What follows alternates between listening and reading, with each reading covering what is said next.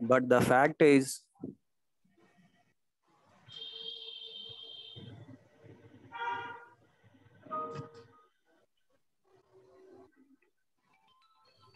Sir, you are on mute, sir.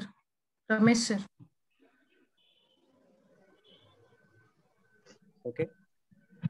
Hmm. Yes. I never felt this day would come in my life, though it's hard to digest the reality that our great teacher and humanitarian, uh, Dr. Balaswamy sir, is no more. But the fact is, death knocks everyone's door someday. However, losing Balaswamy sir at a young age is certainly irreparable loss to his colleagues, students, academicians, and in and in particular to his family and relatives. In fact, nobody can reverse the death since we are mere human beings and we must and we must accept the destiny and move on. Balaswamy sir was a fatherly figure to me as he used to used to treat me like his son and sometimes as his younger brother. We had a cordial and uh, sweet relationship since 2004 when he arrived as associate professor to our department from Assam University. His untimely demise after waging a 23 day long battle against the dreadful virus uh, is unrecoverable loss, personal loss to me and my family. His brilliance, down to earth attitude, and generosity had profound effect on every student who had encountered and interacted with him in our cellular department in arts college to be honest his death left unfulfilled void. The most fascinating feature about Balaswamy sir is his multi-talented personality of par excellence and his broad smile on his face even in crisis. He was most respected and loved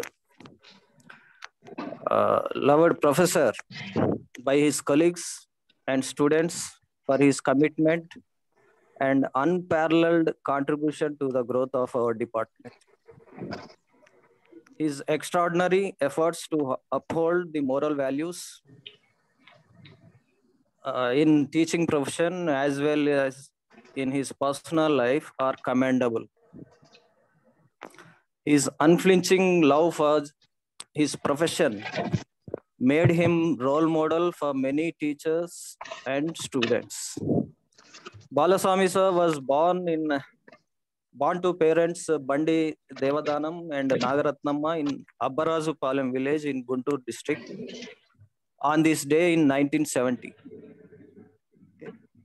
He lost his father when, when he was six year old and he was the youngest child among six siblings.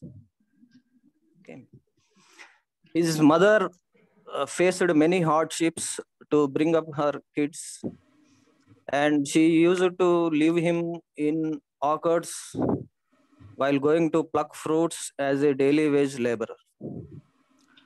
From elementary education to, to his post graduation and uh, PhD, Balaswamy sir studied in government institutions and boarded in social welfare hostels. Uh, it's not exaggeration to say that Balaswamy sir is the first professor who, who awarded more PhDs to research scholars from our department. Okay. And uh, he said uh, he told me once he told me that he managed to uh, managed to finish his uh, pg course uh, PG course with a pair of clothes, with a pair of uh, clothes uh, du- during uh, his PG in uh, Central University. And he revered Professor PLV sir, from whom he was inspired and uh, from whom he was inspired and always looked up at him in awe. So losing Balaswamy sir is certainly a great loss to our department, uh, not only to our department, also to the society, because he is such a lovely person who always uh, empathetic with the students' problem, and uh, he was uh, frequently consulted by various committees to find solutions to resolve issues of the students, uh, whether it is in our department or in in the campus. So, the most haunting thought about Balaswamy sir to me is he reposed great confidence in me that I could save his life but uh, uh, which is not in my hands. And uh, I thank uh, Professor Nageshwar sir, Professor Narendra sir, Steve sir for for for their relentless support during Balaswamy sir's stay in the hospital and uh, monitoring his condition round the clock. I request Stu- sir to organize more such events to, to,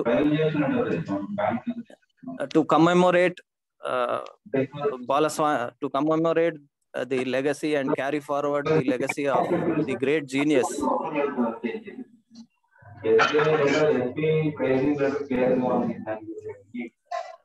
Philip Joshua, please off your mic. Yeah, thank you. Uh, to carry forward his legacy and um,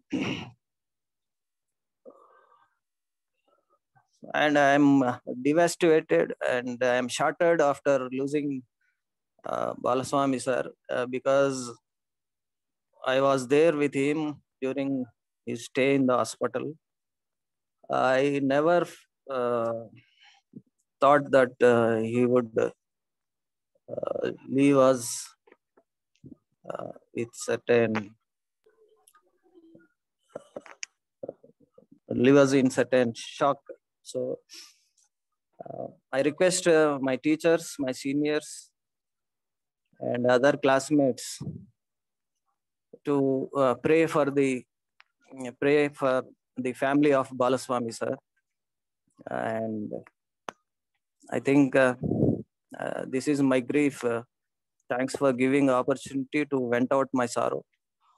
Uh, thank you, Stu sir, and thank you all my professors. Thank you. Now I I hand over uh, this session to Stu sir.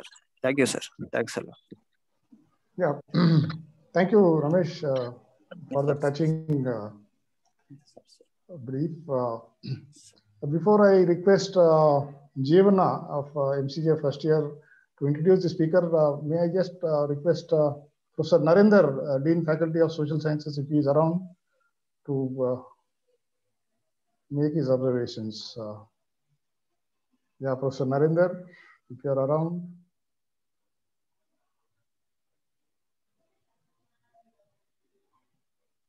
Yeah, I saw him. Well, maybe we'll uh, catch up with him shortly, but uh, yeah.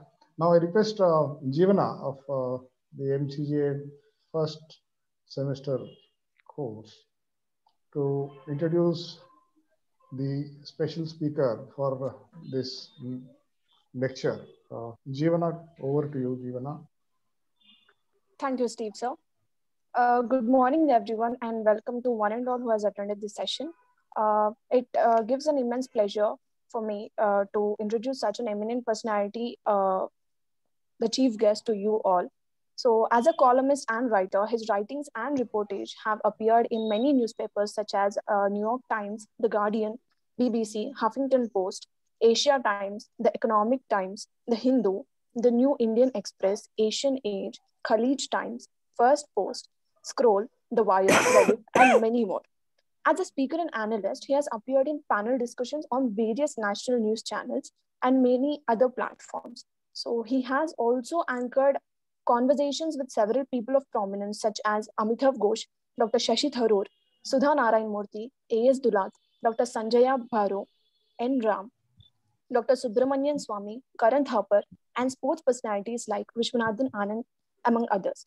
He is currently uh, employed as the resident editor, Deccan Chronicle, based in Hyderabad. He has earlier also worked with many MNCs like Infosys, Tata Consultancy, Satyam Computers, Indian School of Business, Call Health, and many more.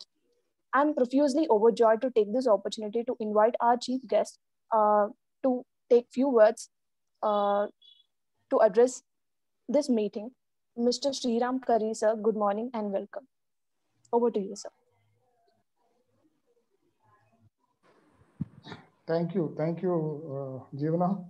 Yeah, uh, Mr. Sriram, now I think uh, it's your turn now. Uh, can you please come in? Thank you and good morning, Professor Steve. Uh, very kind of you. Uh, thank you, Jeevana, for a very kind introduction. It is uh, a strange moment for me to be here in many, many ways. I cannot think of many occasions where the audience has so many members of knowledge, experience, and eminence far, far exceeding that of the speaker, as on this occasion. It is also extremely difficult to try to discover a person posthumously. And the cruel nature of the pandemic we are in the midst of is best seen by the fact that here I am trying to give a memorial lecture and a tribute to an extraordinary professor and human being who more or less the same age as mine. It is so cruel and so unkind. In fact, the word cruel, unfair, and unjust seem to me the words that played like a theme song all through the life of late Professor B. Balaswamy. As the biographer briefly introduced him, he was born in a Dalit family in Aparajupalam in Guntur district.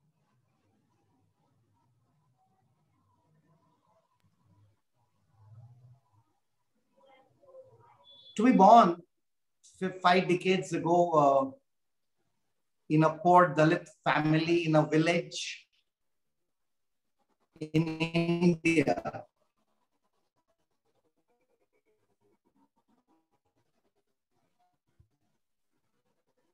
Itself is it's like setting you up for a lifetime of oppression, humiliation discrimination you do not deserve. And yet he was born there. To have lost his father as a six year old child, it is like being born with just one crutch to walk, and that is taken away from you too. So when I was asked to speak about Professor Balaswamy and I began reading about him, I went through the videos, the tributes in social media, and I was trying to understand him, understand his the journey of his pain, the understand the intensity of his desire and the power of his dreams against the backdrop of such unjust, unending array of discriminatory actions, some by God and several others by society and people around him.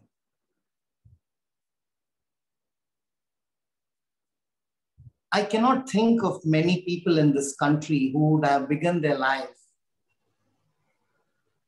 grazing cattle, working as a daily wage laborer, and yet having the ability to believe that someday he will go on to achieve great things and then going on to do so. It is not often when your feet are chained to the clay that you still have the wings and desire to fly. And Professor Balaswamy, who I've never met in my life, whom, as I said, I sadly discovered only posthumously seemed to me a person of such stuff. It was indeed the final chapter of the cruel cosmic joke that he was taken away and he just started doing the best of his work. And I pay my tributes to what seems to me a hero, man made of heroic soul, somebody who had the ability to fight and win and what is more wonderful is smile while doing so. To have a smile while fighting a battle against all of society. I can understand the struggle, I can understand the victories he had, but his smile while doing so makes me like all of you do, without the advantage of having not met him a fan forever. What struck me most notably was his uh, one of his works, maybe his Pièce de Résistance, where he asks about the diversity in media rooms. And I am somebody whose life is as contrastingly different from his that I believe today the best point for me to begin is to ask the question he asked. A question I have never asked myself honestly before today. What is the representation of Dalits in Indian media rooms? I will like to answer by saying one, I do not know. Now, one of the reasons traditionally we would give for justifying such an answer was I do not discriminate. I do not discriminate or care which caste, which religion, which community, which class employees in our newsrooms are. We just look at what they wish to do, how well they do it, and that's all it takes. For a large part of my life, it seemed like a statement of virtue to say, I don't know how many Dalits are there in the newsroom. Today, I must confess, mea culpa, I must confess, it is not a statement of virtue, it's a statement of indifference discrimination and bias. And I must say it is just a brief introduction and insight into the life of Professor Balaswamy that made me realize this and confess it here publicly. If we say we do not know, that itself is a statement of privilege and a confession that honestly we did not care as much as we should have.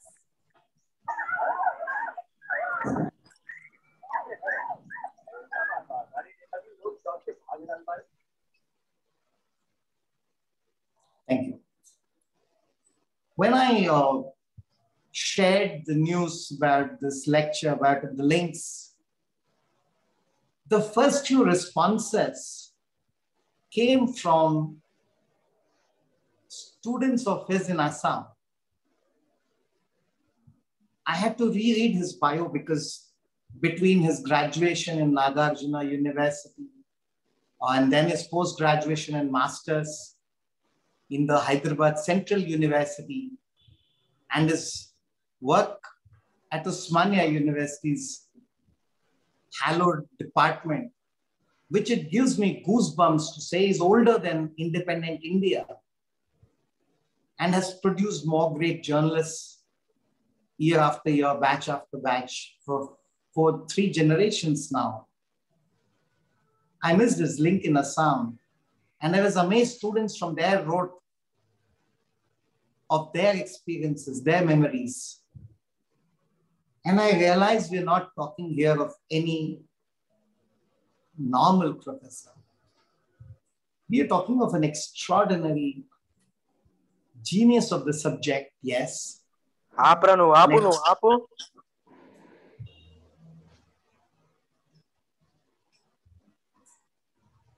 Hello?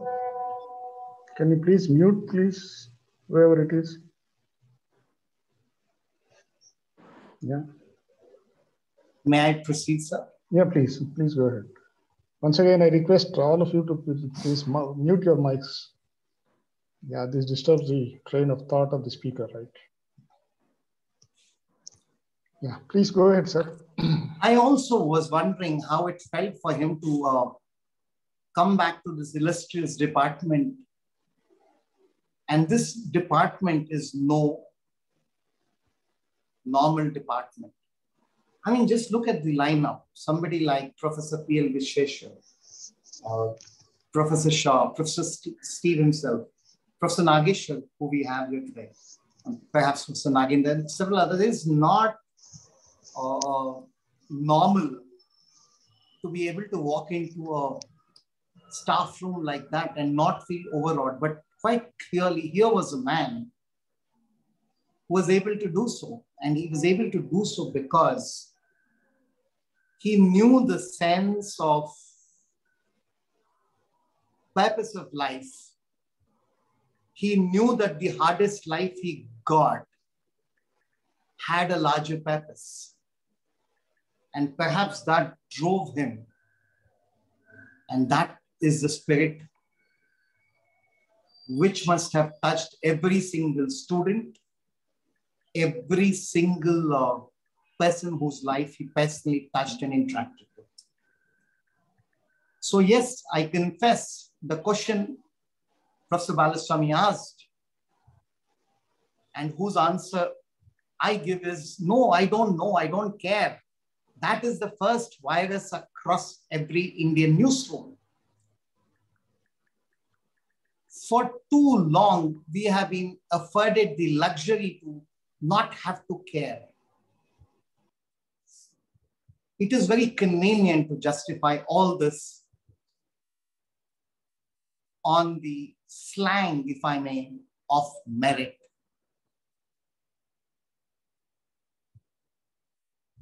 But the contrasting lives that he and I lived make me realize today, at a cost of terrible sense of guilt and shame, if I must be honest, that we have just been accorded the luxury of indifference for far too long. And the life and work of Professor Balaswamy makes me realize that no longer must that luxury last. That every newsroom, and I have quite easily the ability to say today, what a wonderful newsroom I am part of. Such wonderful human beings. But the truth is, somewhere it had some bias, it had discrimination, and it had the luxury of not even having to acknowledge for so long its presence. This is the virus, that is the mask. I do not think it is possible to create a fair media, a just media, a media that stops echoing the voice of the powerful in the system and starts speaking for and with the people unless the people themselves are truly represented in the newsroom. And I think I will go back today asking myself how not just my newsroom, but definitely mine to begin with, and media across this country, how it owes Professor Balaswamy, your teacher, an answer. An answer not in words, but through very tangible action. I have never been to a university, so it overawes me to be able to speak to professors, students, masters, PhDs.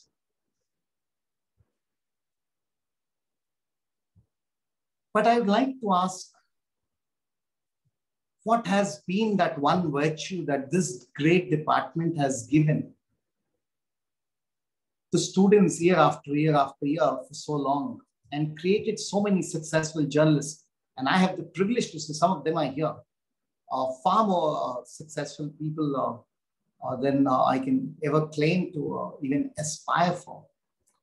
And the reason must be the second value we must imbibe while fighting every discrimination and bias that creeps in.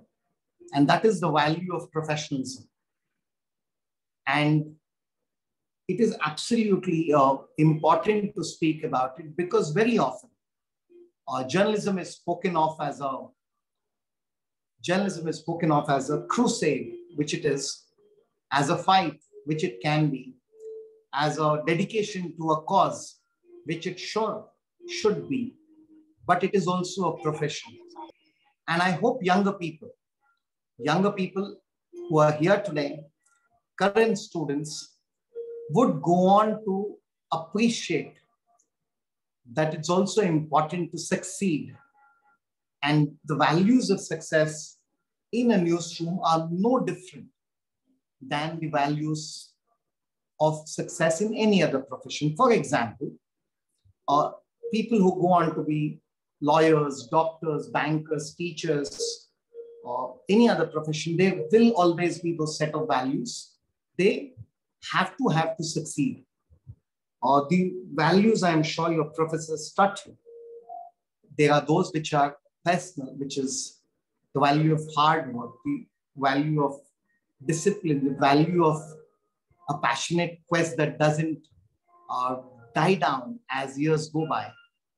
Uh, but there are two values in particular I would like to bring to uh, everybody's notice. One is, uh, just give me a second.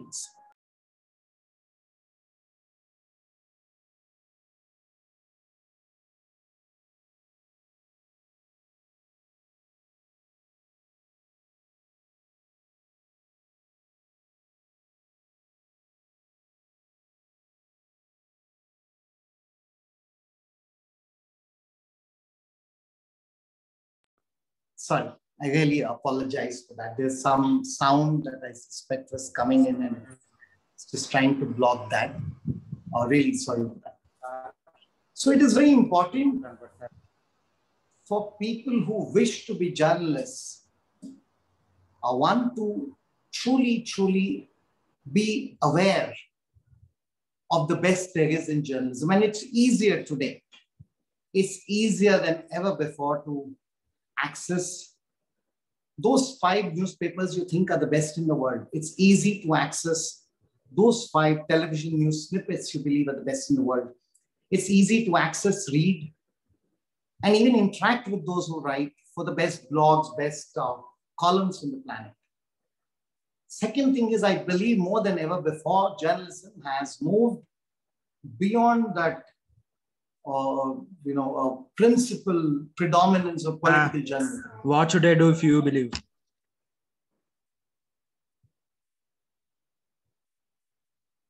Uh, well, uh, you can believe me. You can uh, yeah. also uh, question me at the end, sir, yeah. and I'll be happy to answer. And three, uh, you can disbelieve, and four, you can disengage, and five, we can meet some other day on a different topic and debate too. All those options are free. Those are the privileges you have as a yeah, citizen, I, and so do I. I have a request, please. I mean, please reserve your questions towards the end. We'll have a, a brief question answer session. Don't interrupt the speaker, please.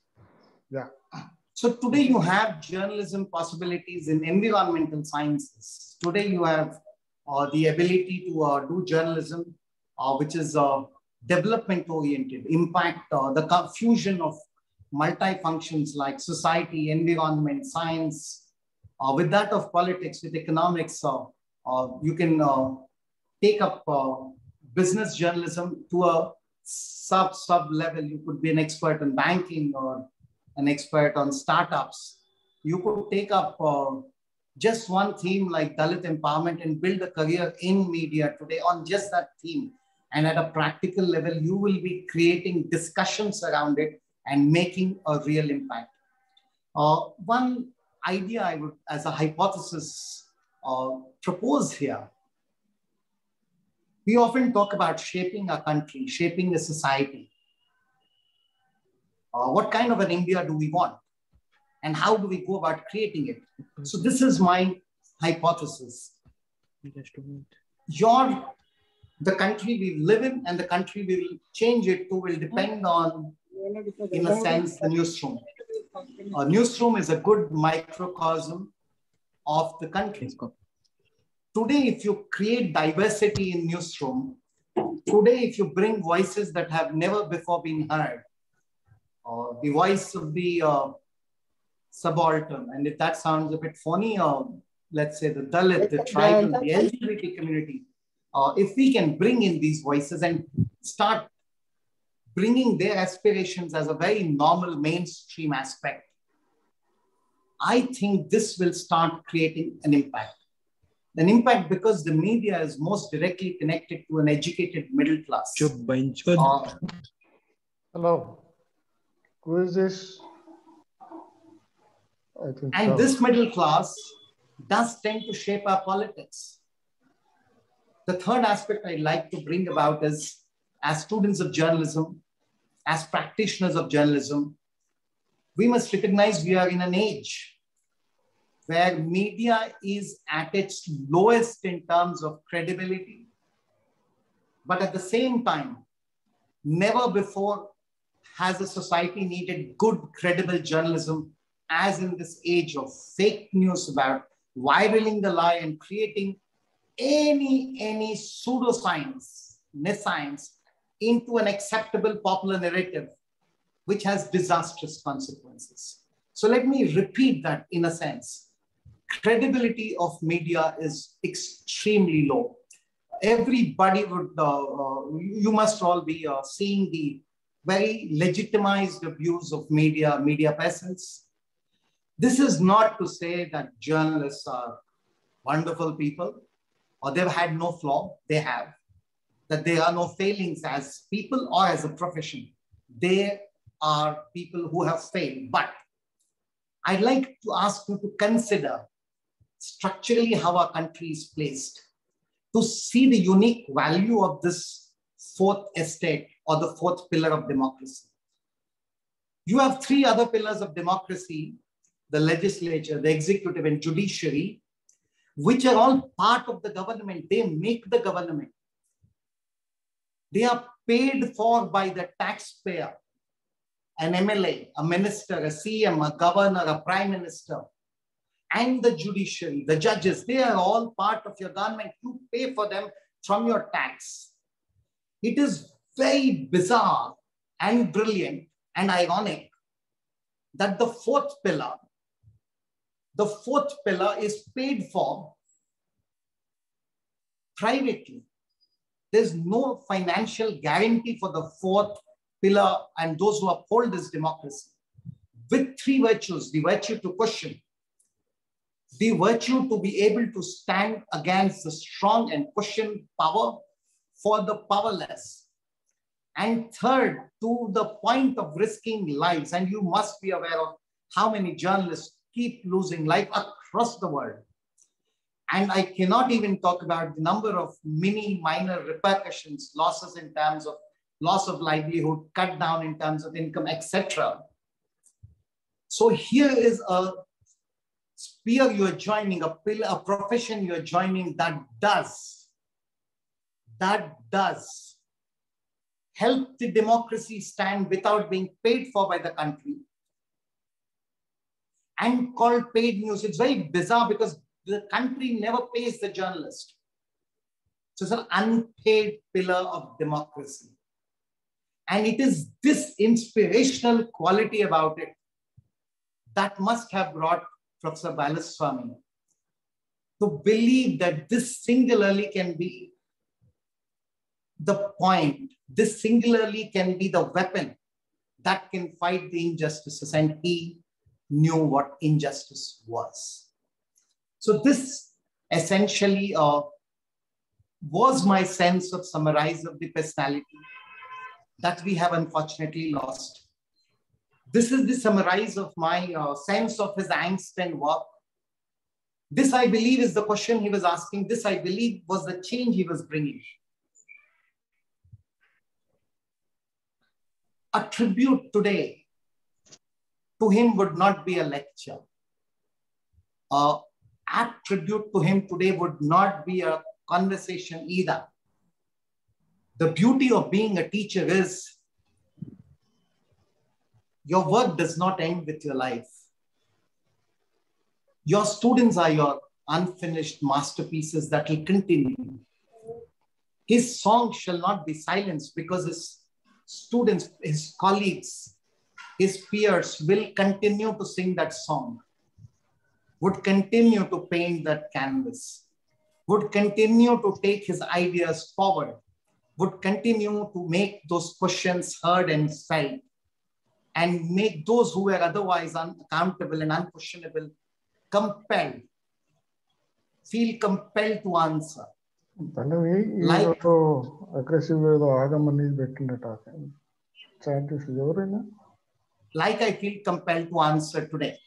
Hmm, so essentially, this is this is my understanding of the life of Professor Balaswamy. This is my understanding about his the deeper meaning of this quest. And I believe his life, his work, his ideas were too important to be allowed to die. And I'm sure I know seeing the heartfelt intensity of each one of you who has paid tributes on social media, who have voiced what he meant to you, that this pain will remain as a reminder to you that you have to take his birth forward, that we have to shape a country. And to begin with, we have to shape our newsrooms. We have to shape them in a way that addresses injustices. We have to be able to speak about conversations on biases. We have to be able to ensure the privilege that can afford silence and indifference to the voices of those who suffer the most can no longer be allowed to continue. And I am pretty sure I speak for you when I say, yes, it is how things will be from now. That you will each one make sure you question the questions he asked.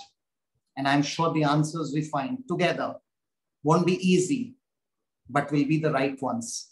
And when we do, we will be able to reshape, reshape in small ways initially, and then create a bigger impact and reshape a world, a world in which your professor would have loved to have lived forever. Thank you so much. And now I'll of course be open to questions. Thank you uh, so much, uh, Mr. Sriram. Uh, First, let me apologize, okay? Apologize for some minor aberrations, okay? Some un- uh, some uncouth comments coming in, okay? Some remarks coming in. Uh, Please accept my apologies. Uh, Well, we'll open it up for discussion for a brief question answer session.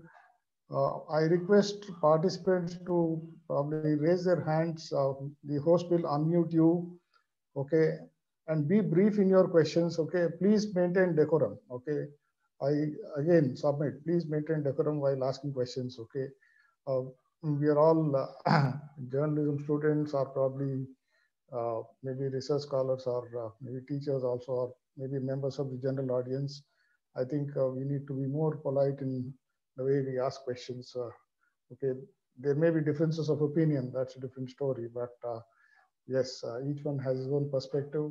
I think uh, uh, Mr. Sriram has very succinctly presented his argument about how there is lack of diversity in the newsrooms and how there is a need to reshape newsrooms so that uh, the voices of the voiceless are heard. Okay, I just missed a couple of uh, statements uh, because I was trying to address uh, uh, some uh, disturbances here. anyway, I just want all of you to maintain decorum. Okay, be polite in answer raising questions. Okay. I'm sure uh, he will field any question which is coming his way, but don't become aggressive. Okay, I see some uh, very aggressive voices. Uh, yeah. yeah.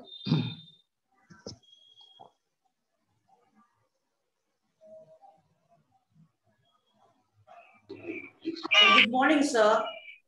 Good morning. Uh, uh, Deepa Visham speaking from Mother Teresa Women's University, Chennai. Okay.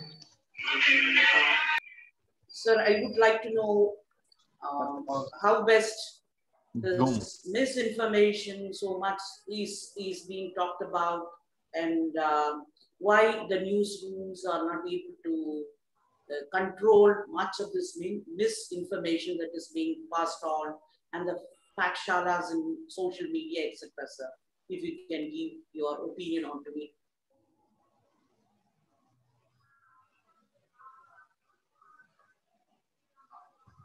I'm afraid I tried very hard, but I really did not get the question. If somebody could, uh, Dr. Deepa, I lost your voice. Uh, I think she she just wants to know how uh, newsrooms are planning to tackle this uh, deluge of misinformation which is around. Okay, both in mainstream media as well as uh, the social media platforms. Okay. Am I right? If I'm Yeah. right, uh, Yeah, Dr. yes, Deepa? sir. Yeah. Okay. Yes, thank sir. you. Thank you.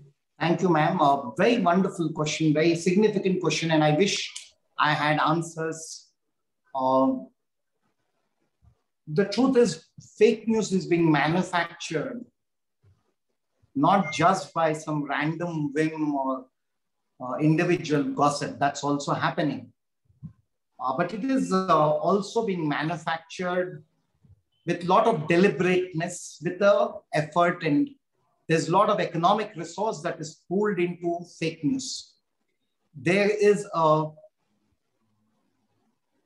political gain to be had by being able to create fake news, which adds up to creating a narrative, which then dents and changes the basic values of society. So those who are creating fake news have a lot of resource, a lot of manpower, a lot of salience, and a lot of uh, their life has become easy for many reasons. In contradistinction, the ability of those who fight it, the resources they have. You know, what does it take to tell a lie? And what does it take to find out the truth? Uh, finding the truth costs a lot of money, a lot of effort, a lot of people have to work. And by the time you dent one fake news item, fake news would have marched on very rapidly.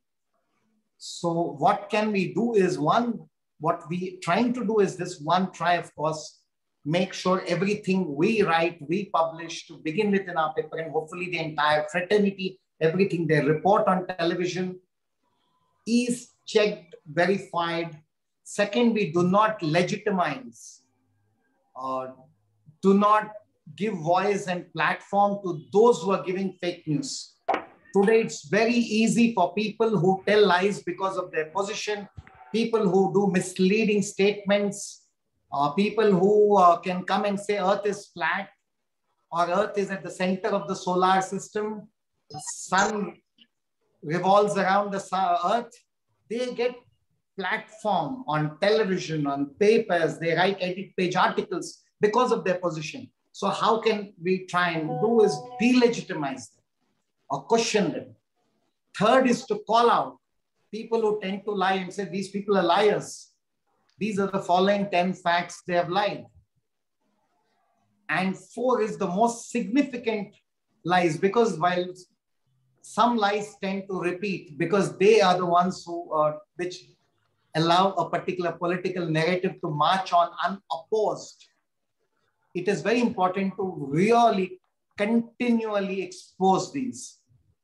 Is it an easy battle? No. Eternal vigilance is indeed the price for liberty, for democracy, and to ensure sanity in society. Uh, and I believe every citizen has a role. Just like we believe the only way to fight the coronavirus pandemic is for every citizen to wear a mask, every citizen to try and get the vaccine when they get it.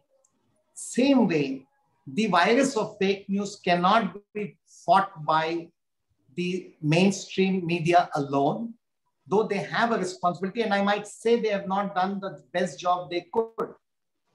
Uh, they have been a disappointment. We have been a disappointment. I have not done enough to fight fake news as I must perhaps have, undoubtedly. It's a failure of the media fraternity. But do not forget the entire society as a stake. If we are going to become a society which will take its decisions on what is right, what is wrong, and make changes at the national level based on absolutely blatant lies, surely every citizen's stake in democracy is involved and they have a right and duty and some interest in trying to correct it. This is my view, madam. So yes, media will try to fight it, uh, try to get those research resources, do more research, be more uh, rigorous about what we report. And when we make mistakes, be very quick in acknowledging, accepting and correcting them. But the larger onus lies with every person who forwards that stupid piece of information on WhatsApp too. And that's very important. Thank you. I hope I've answered your question. Thank you, sir. Thank you so much. Thank you so much.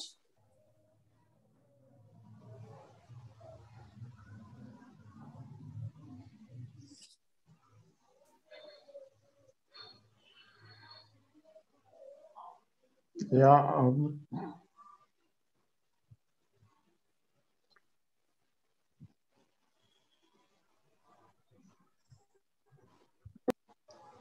any more questions, please?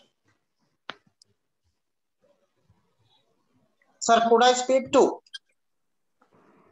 Yeah. Who is this? Can you please identify Uh, sir, yourself? I am Srinivas Pilanamari, uh, reporter from Adilabad. Okay. Please go ahead. Please go ahead. Uh, sir, uh, let me first uh, thanks uh, to Sriram Karri garu for accepting the reality of what is the going on in the media room. Uh, though it is a fact, uh, but many people uh, will not accept uh, the bias, the kind of bias and the kind of discrimination that is going on in the newsrooms. But uh, uh, openly, Sriram Karri garu uh, accepted the reality, uh, though uh, it is a fact and going on uh, since long time. Um, another thing is, sir, it is the position or it is the people who behind the media who are the controlling the media uh, those will decide who will come into the media room uh, who will decide the content so we should also uh, highlight the kind of ideology and uh, kind of the people who are behind uh, this uh, uh, uh, situation in the uh, media room uh, Srinivas, I mean, what's your question? Okay, you have some observations. Uh, what's your question, sir, right? sir, um, uh, my uh, question is, so why don't you highlight the kind of uh, ideology which is not uh, allowing uh, the marginalized sections into the media rooms uh, who are uh, uh, showing discrimination with these uh, sections or reporters? Yeah. Is it over? Uh, yeah. Yeah. Okay. Right. Thank you. Well, uh, uh, the thing, Srinivas Garu, is the solution to any problem begins when you first acknowledge there is a problem. And I believe that we haven't acknowledged it properly yet. Or second, uh, as far as ideologies are concerned, please understand this. There will always be more than one ideology in any society. There'll be many, many ideologies in society, and every society, based on those uh, different ideologies, can create their different medias. Do not let us forget that uh, social media has come as a brilliant shot in the arm for every kind of voice. What the mainstream conveniently ignored, people today are ignoring the mainstream media and finding voices and newer media houses are being created. Today, a WhatsApp group is a kind of a media house, which is the wonderful uh, side of it. It's also a dangerous side to it, but that's a different issue. So, uh, yes, we are acknowledging the problem too late and too little. Uh, our ability to uh, quickly correct this is suspect. Uh, I'll be uh, lying if I say that, oh, I've come here, given a lecture from tomorrow. There shall be no bias in my mind. There shall be no bias in the minds of anybody in my newsroom and be able to convince and persuade everybody to find the diversity, which is why I stressed on the value of professionalism. There is absolutely an onus on everybody individually to try and be better as journalists also. While we try to create greater diversity, it has to uh, uh, also be a point where people latch on to ways to become better and make their case in a more compelling way. They cannot be two ways about it. And that is why I said the life of Professor Balaswamy is an extraordinary lesson, not only about the kind of struggles he faced, but his response through excellence. And there is no getting away from that.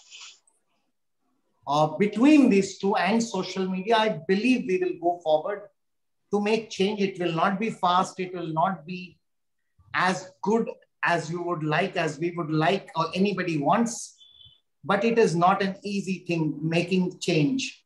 We have to constantly push for it, fight for it. We succeed sometimes, we go back sometimes, we again try. It is not a one victory forever kind of a thing. This is not a fairy tale which will end saying, and they all lived happily ever after. It is a series of battles unending. And that I think was the greatest message of Professor Balaswamy for all of us. I hope I've answered your question, sir. Thank you. Thank you. Yeah, there's a request in my chat box. Uh, good afternoon, sir. Ask Nageshwar, sir, to briefly intervene. Uh, with the permission of uh, Mr. Sriram, is it okay I mean, if uh, uh, Professor Nageshwar uh, makes his observations? there's a request Absolutely. Professor Nageshwar is a extraordinary professor activist, politician, intellectual. It's right. always a delight to listen to him. Yeah, Professor Nageshwar. Professor Nageshwar. Thank you, Sriram. Uh, in, in, fact, Professor uh, Stevenson, I, uh, well, uh, I don't know. I was asked to intervene, but intervene on what? So, intervene, yeah. so the first thing is the, the related to diversity. As Sriram has eloquently pointed out, I'll, I'll just quote a study by the Center for Study of Developing Society, CSDS, sometime back. I don't exactly remember the year. The CSDS has studied the social background of the personalities in the media, both English and Hindi, both television and print. So the study reveals that there are hardly any scheduled caste or scheduled tribe people at the decision-making level they, have studied the social background of 300 people, not one. So uh, the backward classes also account for only 4%. So there is certainly a, a, a challenge of social diversity in the newsroom. Well, somebody may always argue that I may, may not be born in a Dalit family, but I can be equally concerned or even more concerned about Dalit. It is possible also. As an editor of a English daily, I was one who devoted full page to Adivasis on the International Day of Adivasis, knowing fully well that my readers, uh, do, uh, um, uh, Adivasis do not constitute any, any significant chunk of my readership. So, but uh, that can be possible with few individuals who are concerned But it as a system, the when the media is not, though it's a privately owned, it's a privately owned public institution. So it should reflect the social, the uh, social society in a true way. So that's a big problem. And so social diversity in the newsroom is a big challenge. There's no doubt about it. And the study of uh, papers like Eenadu reveal that the Telugu newspaper started covering issues of agriculture, issues of rural society more widely only when the members from these agrarian communities started joining the journalistic profession. So this problem of diversity exists in terms of the physical representation in the news media. Not just that, it represent it, it also exists in the structure of our news gathering process also. Look at, uh, we have journalists covering Gandhi Bhavan, more than two, three journalists. We have journalists covering secretariat. We have journalists covering stock market, But I don't think we have a journalist who exclusively covers the problems of Dalits or tribals. Though, uh, though they account for 25, more than 20% of the country's population, there may be the, that it is important because if you want to systematically understand the concerns and the issues confronting a particular section of society, it is essential that somebody follows it very closely and very regularly. So that problem always there that we'll have to, the only thing is the technology provides uh, voices to the voiceless. You can always present your own narrative using the technology. So uh, the, the brief intervention. Yeah, please. Whoever this is.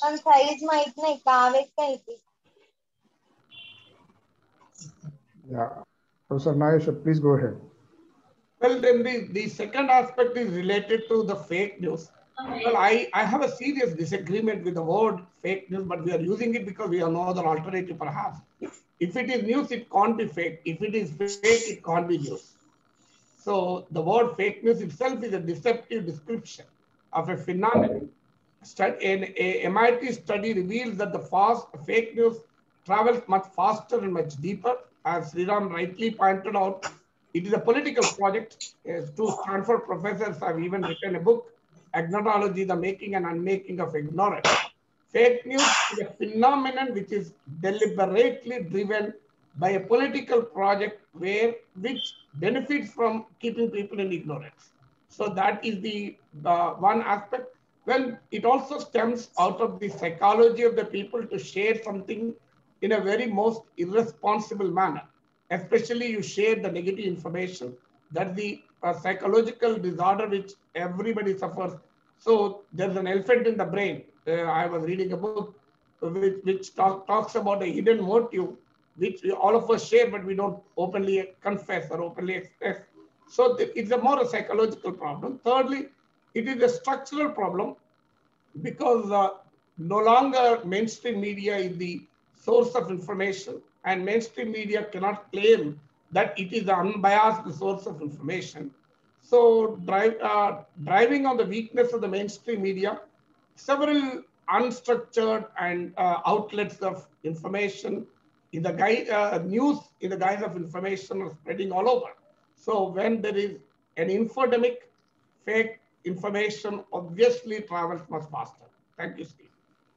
Yeah, thank you. Thank you for your uh, remarks, uh, Professor Nageshwar. Now, there's a question in my chat box which says, this is for uh, Sriram Karri. Journalism has evolved over the years. Is there a future for professional journalism uh, in the true sense of the word? Can you please ask Sriram, sir? Okay. Yes, there is a future, definitely. Uh, like I said, it is a profession. Uh, between its interpretations as a crusade, as a uh, you know a weapon to uh, change society, reform, etc., it's also a profession. And good professional journalists will always, always uh, have uh, a good career. The very nature of the relevance of media, the very nature of how traditional conventional media will uh, reach people is rapidly changing. The uh, dynamic uh, pace at which it is changing is pretty mind-boggling. Uh, you know, there was a time when uh, newspapers had to become websites, website had to become apps, newspapers had to become Twitter, Facebook, now Clubhouse, and Zoom at the same time. And while doing so, find the kind of information load that's coming. All this is fine. You still need somebody to tell a good, credible news report. Make something out of it, all put together. And I don't think uh, society's need for that will ever be lost. Uh, where will you find that uh, set of people? You know, uh, when any uh, journalist will interact with the J school, the relationship is a little bit like the recruiter and the B school or any other school. So uh, it's easy for media houses who recruit to say, but I'll only be able to hire the kind of uh, material Professor Steve and his colleagues have prepared. And they in turn should have, uh, you know, provided for it, etc. All those will be there. But the truth is, uh, democracy at least will need uh, good media, a free, vibrant media. Uh, we are a media with a lot of challenges, a lot of onslaughts. Uh, I will not get into the ideological debate here because every ideology has tried to control media. One is the current threat, there was the past threat, and there'll be newer future threats as well. But as professionals, you can have a good career. Uh, and the important thing is to focus on skill, not just your largest uh, utility or greater purpose, the greater common good. That's wonderfully well taken. But be skillful. If you're a writer, write well. I'll give a small example here. How many Indian journalists can write the first sentence of a news report brilliantly? It's called the lead. In the last 10 years, I haven't met one good, brilliant lead writer in all of India. One good lead writer. I don't know how many journalist schools are there. I don't know how many professors are there, and I don't know what they teach. First sentence. Today, J schools must be able to teach you how to tweet. These many characters, how do you tell a story? I don't think they're competent. Yes, we will take the onus of uh, creating a Dalit beat. I'm promising you, Professor Nageshwar, I'll go back. It's a wonderful idea. I wish I had thought of it, and I'm grateful to you for it. I'll go back and think about it. Can we institutionalize a Dalit beat in my paper tomorrow itself? Whether I'll succeed, I don't know. I'll sincerely try it. But there's also the onus on everybody who wants to succeed. If you want to be a banker, you have to be a better banker. If you want to be a batsman, you have to be a better batsman. If you want to play tennis, you have to play it well. If you want to be a journalist, you have to be able to do it well. Can you summarize a story in front of a camera in 30 seconds? You have to learn to be able to do it. So focus on the competence. You will get opportunities. Only when you get opportunities can you make larger differences. Can you then impact the uh, diversity composition? That is when you can do greater justice to more causes. But to succeed, you need that talent, that skill. Please hone it with a lot of care. Read the best 10 columnists in the world today, New York Times, New Yorker, Washington Post, FT, WSJ, I don't care. You can access it today, learn it. And then come and say which paper can say no to you, which TV can say no to you. It's very possible to have a very good career. Train yourself. Don't put the onus and responsibility only on the department and the professors. You have to become the best. It is singularly in your interest. I hope I've answered your question. Yeah, there's uh, Dr. Rubai Kanuzia from Central University of Punjab who wants to ask a question. Madam, uh, please go ahead. If you're uh, able to hear me. Thank you. Uh, thank you very much, sir. I'll take a little, uh, one, one minute. Yeah. First is I have a very uh, good memory with Balaswamy sir. He was our subject expert when we were appointed here in 2018 and uh, since i know him from that day we four teacher three teachers were appointed here. And uh, the second is uh, i uh, express my gratitude to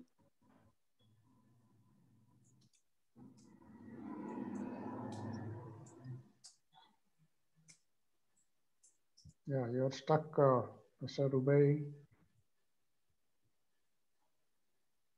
We are not able to hear you, Mr. Rubai.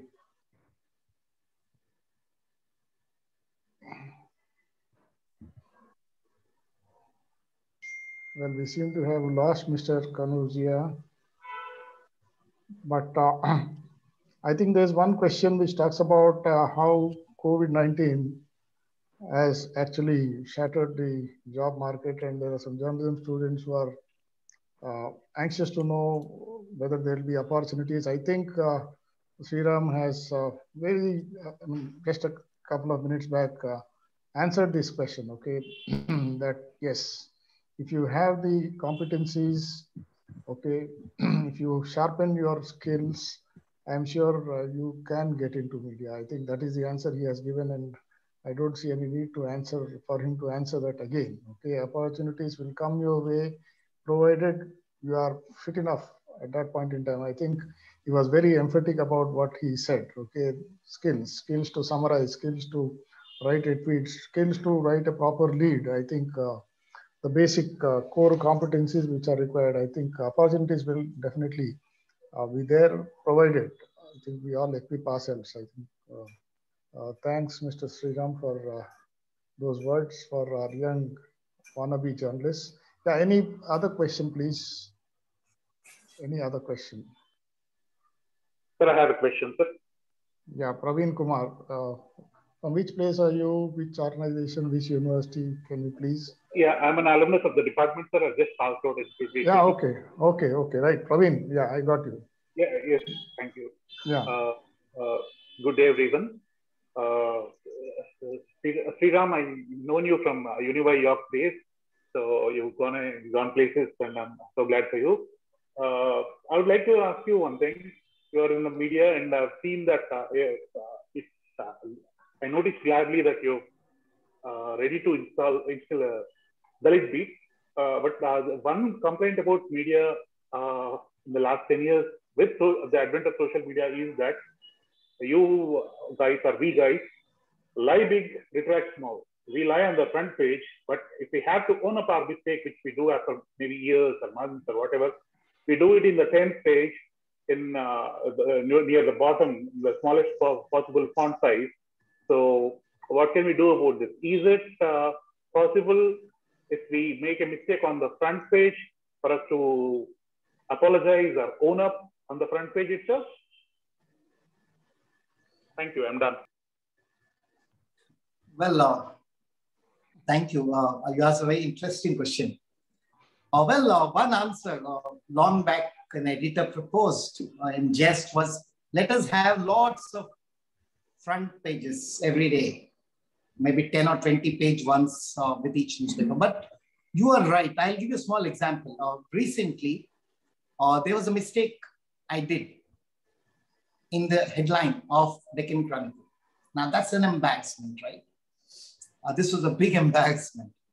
And since that involved the designation of the commissioner of police, that meant two people are wrong because one whose designation you got wrong and one whose designation it was we gave it to somebody else. Uh, six in the morning, it's a little difficult, you know. Uh, so I tweeted uh, my clip tagged both the commissioners and said, I'm sorry. Now, it is up to the honesty of editors. But also don't forget this page one, page nine business is also a trick. I'll give an example. There is this politician you expose, his corruption, but legally has a right to be heard. Even though you're correct, you have to give him voice. Of course, I'm not going to put him on page one. They insist these days. You have put scam on page one, the same place, same size I want. Of course, we're not going to do that. We are going to put him in page seven or page five. So even he can't find if he wishes to. I can't find my apologies sometimes. That is the truth. But uh, you'll have to leave it to the media to sort it out. Uh, it is their discretion. Whether they want to be honest, whether they are sincere, whether they try to be too smart is up to them.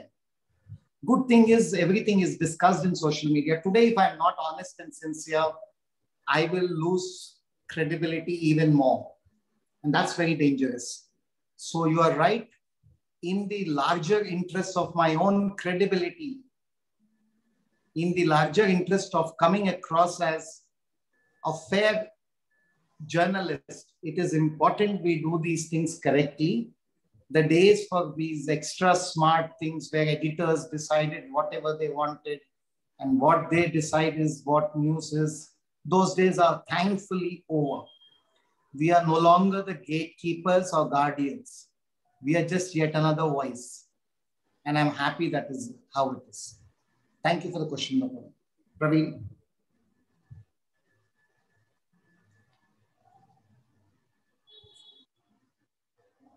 Yes. Uh, maybe one last question because uh, Sriram, I think, uh, has spent quite some time with us.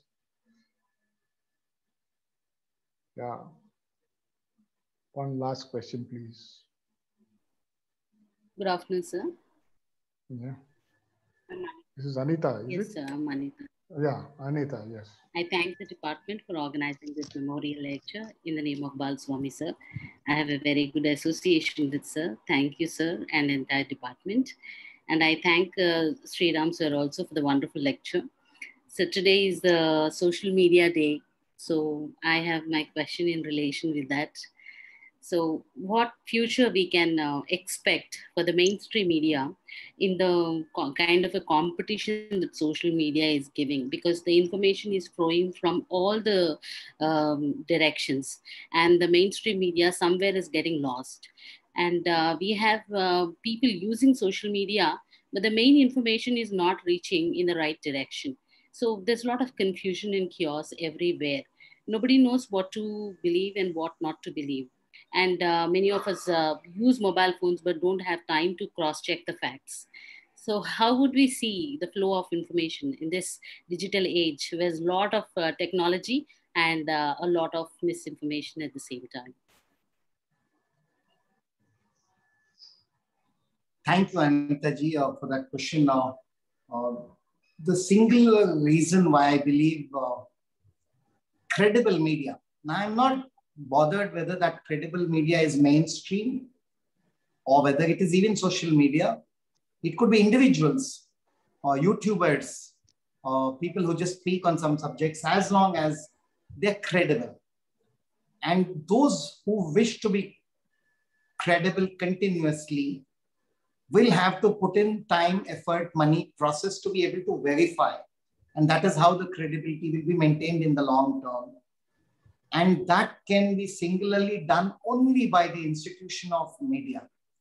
Again, I'm not saying only broadsheet television or newspapers alone. No, uh, it can be a small team of five people running a website or a YouTube channel, etc. Uh, that's fine now, absolutely fine, as long as they're doing a credible, good job.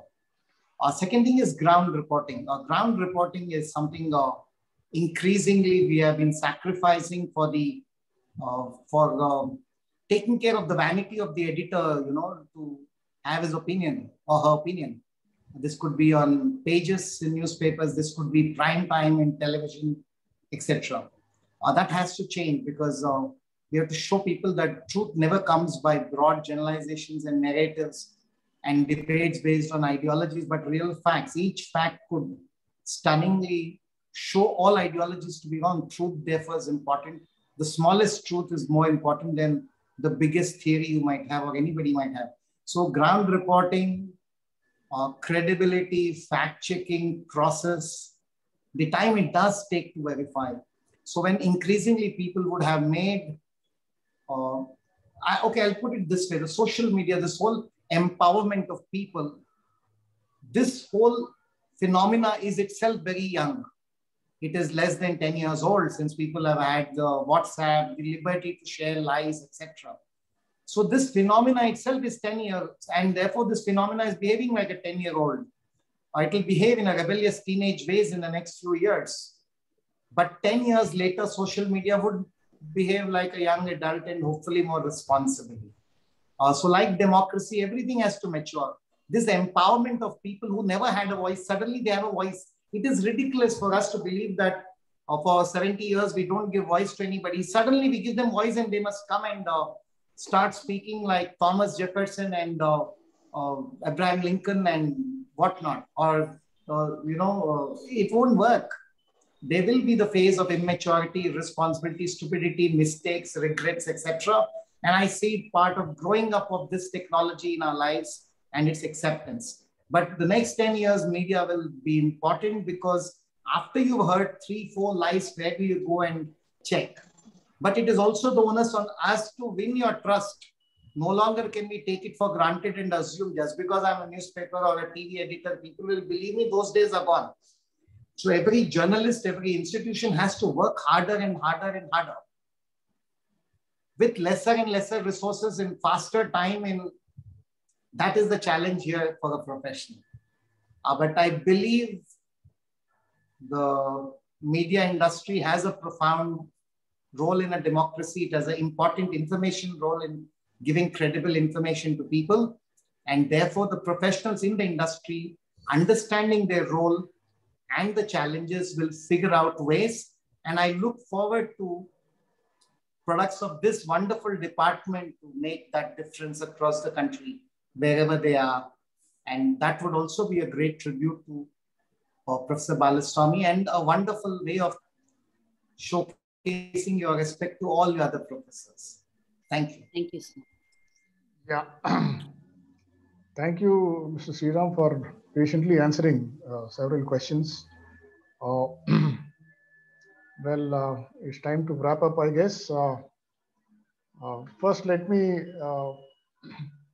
apologize for some uh, some unsavory comments uh, which came in between Mr. Sriram. Please uh, accept our apologies uh, for those people I mean, who have made these comments, right? Uh, but uh, thank you for very succinctly putting out several different facets. Okay, I mean, I think he has rightly pointed out that there has to be some eternal vigilance against this misinformation which is going around and how each citizen has to be responsible while uh, dealing with different kinds of information.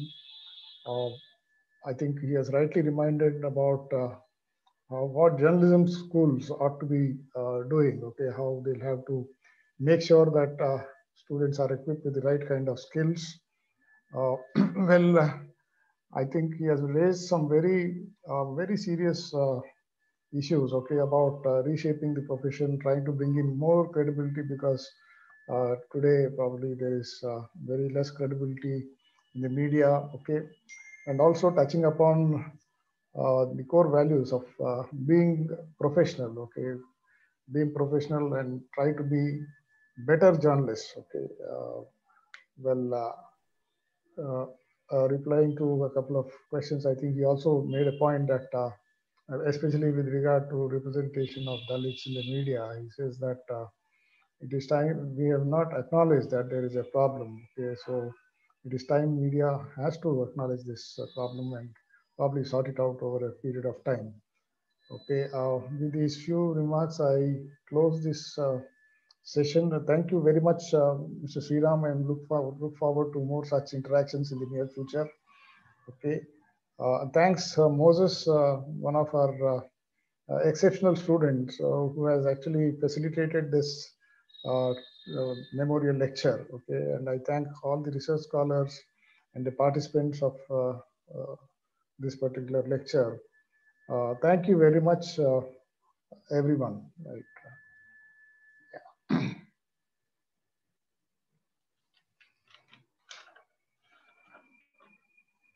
Yeah.